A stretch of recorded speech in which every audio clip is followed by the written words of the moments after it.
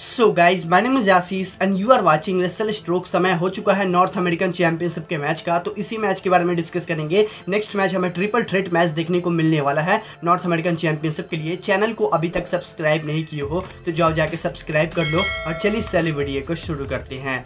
अब देखो guys next match हमें एनएक्सटी नॉर्थ अमेरिकन चैंपियनशिप के लिए देखने को मिलने वाला है। ये वाला मैच ट्रिपल थ्रेट मैच है। Oba Femi versus Wes Lee versus Joe Coffey के बीच में। अब देखो, ये वाला जो मैच है, काफ़ी हार्ड हिटिंग मैच होने वाला है। North American championship on the line जाने वाला है। यानी कि एनएक्सटी का North American championship on the line जाएगा। चांसेस ज़्यादा है कि इस वाले मैच में टाइटल चेंज होने वाले हैं। हाँ गाइज़ हो सकता है कि ओबा फेमी अपना एनएक्सटी नॉर्थ अमेरिकन चैंपियनशिप को हार जाए। वेस्ली के अगेंस्ट और वेस्ली हरा साथ दें ओबा फेमी एंड जो कॉफ़ी को तो देखना काफ़ी इंटरेस्टिंग होगा कि इस वाले मैच का क्या रिज़ल्ट निकल के आता है। और जो एनएक्सटी नॉर्थ अमेरिकन चैंपियनशिप का जो मैच है, जो अभी हमें राइट नाउ ट्रिपल थ्रेड देखने को मिल रहा है, जहाँ पे ओबा फेमी के पास एक एडवांटेज है कि उनका जो बॉडी शेप है इनफैक्ट जो बॉडी का मतलब काफ़ी लंबे चौड़े तगड़े सुपरस्टार हैं, दो सुपरस्टार तो उतने अच्छे नहीं हैं। तो देखना काफ़ी इंटरेस्टिंग होगा कि इस वाले मैच का क्या रिज़ल्ट निकल के आता है। मेरे अकॉर्डिंग वेस्टली एक बार फिर से टू एक्स या three x North American champion बन सकते हैं एनएक्सटी के बैटल ग्राउंड में।